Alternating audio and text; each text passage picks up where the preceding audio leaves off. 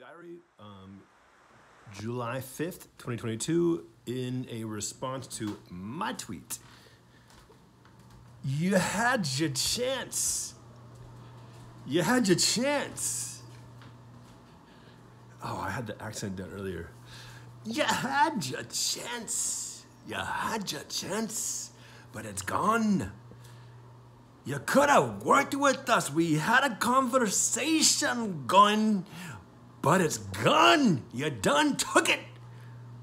For your filthy Second Amendment ways and your jealous self, I hate the police. I do not trust the police, but I fucking trust them a lot more than I trust these far right, insane motherfuckers who claim to run other people's bodies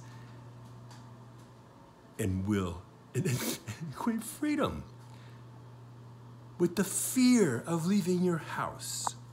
We're done.